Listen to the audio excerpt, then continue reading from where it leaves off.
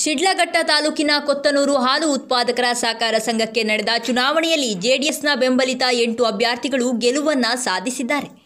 ಕೊತ್ತನೂರು ಹಾಲು ಉತ್ಪಾದಕರ ಸಹಕಾರ ಸಂಘದ ಅಭ್ಯರ್ಥಿಗಳು ಬಿಎನ್ ರವಿಕುಮಾರ್ ಅವರ ಬೆಂಬಲಿತ ಅಭ್ಯರ್ಥಿಗಳು ಗೆಲುವನ್ನ ಸಾಧಿಸಿ, ತದನಂತರ ಜೆಡಿಎಸ್ ಮುಖಂಡರಾದ ಬಿಎನ್ ರವಿಕುಮಾರ್ ಅವರ ನಿವಾಸಕ್ಕೆ ಭೇಟಿ ನೀಡಿ ಸಂತಸವನ್ನ ವ್ಯಕ್ತಪಡಿಸಿದರು. ಈ ಸಂದರ್ಭದಲ್ಲಿ ಬಿಎನ್ ರವಿಕುಮಾರ್ ಅವರು ಮಾತನಾಡಿ, ಕೊತ್ತನೂರು ಹಾಲು ಉತ್ಪಾದಕರ ಸಹಕಾರ ಸಂಘದ ಚುನಾವಣೆ ನಡೆದಿದ್ದು, ನಮ್ಮ ಪಕ್ಷದ ಎಂಟು ಜನ ಅಭ್ಯರ್ಥಿಗಳು ಗೆಲುವನ್ನು ಸಾಧಿಸಿದ್ದಾರೆ. ಅವರಿಗೆ ಅಭಿನಂದನೆಗಳನ್ನು ತಿಳಿಸುತ್ತೇನೆ ಎಂದರು.